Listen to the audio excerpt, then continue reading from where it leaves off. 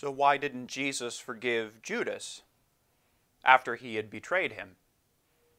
It's a great question because it gives us a chance to really think about forgiveness and mercy that we know that God tells us that He extends His mercy is infinite, His compassion is boundless. And so you would think that there would be no limits to His mercy and His forgiveness, and yet here we come up against a very real situation where it seems that mercy might not be enough, the forgiveness might not be enough.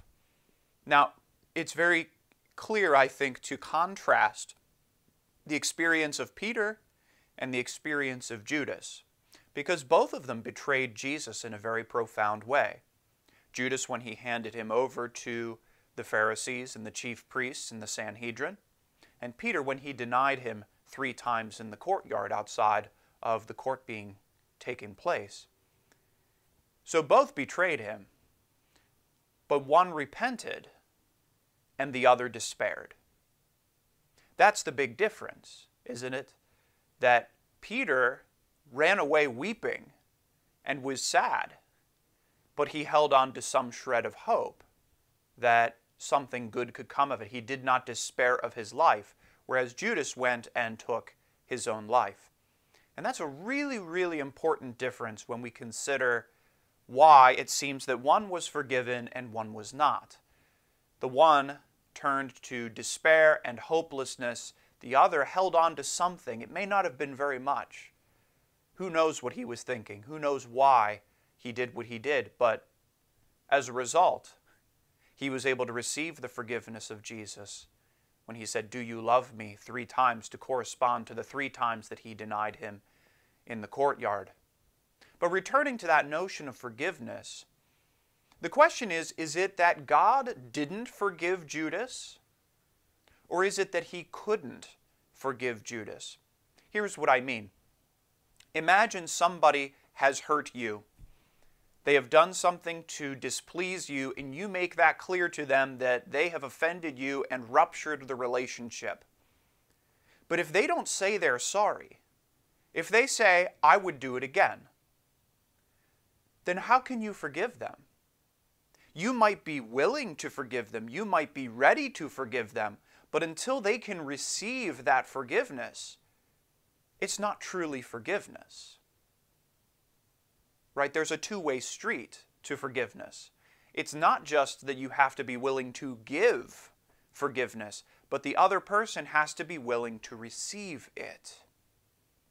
That's why forgiveness can be so painful, because one person may be ready to forgive, or may ask for forgiveness and the other person is not ready. There's too much pain, there's too much emotion.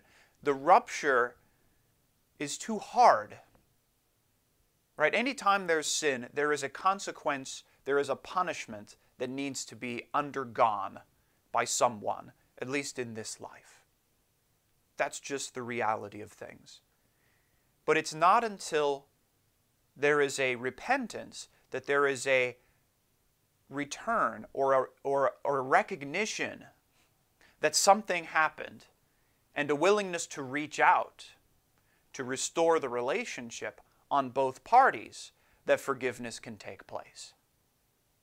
So, in that sense, we can see that it's not that God was not willing to forgive Judas, he was ready to forgive him. But Judas did not accept that. And I think sometimes that's a really important lesson for us as disciples because Judas, what he must have been thinking, or I imagine what he was thinking, after he had betrayed his Lord and realized that whatever it was he thought he was doing was a failure, and that he had actually betrayed his master, the one man who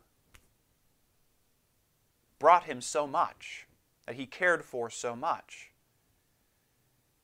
Why didn't he wait? Why didn't he believe? Why didn't he trust? Why didn't he return? For some of us, I think it's due to pride. I think because we get in our heads, I did this, I don't deserve forgiveness. I don't deserve to have any blessings after what I've done. And in our head, that's about us needing to do things a certain way. It's about us having to justify ourselves. It's about us needing to earn or deserve forgiveness. And that prevents people from turning back to God. I know, at least in one case, I've gone to somebody who was dying and he was reluctant to go to confession because he knew that he had willfully been away from the church and he could not deal with that. He felt like a hypocrite. But in that moment, nothing should stand between us and the infinite mercy of God. That's what it means for God's mercy to be boundless. Is that no matter what we do, if we turn to Him, he will forgive. If we repent, He will forgive no matter what we have done. For how long? That's the key. But if we don't turn to Him, then He just waits. He waits and He loves and He does everything that He can, but He cannot force us to change. He cannot force us to do something we refuse to do. That's one thing he refuses to do. He gives us freedom to choose. He gave Judas the freedom to choose. He loved him all the way through. But in the end, Judas refused to turn to him, to perhaps swallow his pride and to realize, undeservedly, I can't go back to him. I simply can't. So, for those of us who struggle to receive forgiveness for something we have done, we should take notes.